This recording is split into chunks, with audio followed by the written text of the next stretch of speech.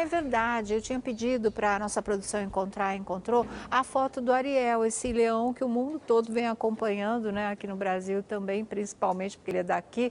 A história dele é que ele ficou tetraplégico, não mexe nada do pescoço para baixo, estava fazendo um tratamento revolucionário, purificação de sangue, começou a mexer o pescoço, mas não resistiu ao tratamento e chegou agora há pouco a informação que o Ariel morreu. A dona dele está inconsolável, mas ela se apoia no fato de que ele estava sofrendo muito mesmo, estava assim já há uns quatro anos e que agora pelo menos ele descansou. Olha, veio o especialista de Israel para fazer tratamento com ele aqui, mas infelizmente ele já estava tão fraquinho que ele não aguentou. Tadinho do Ariel.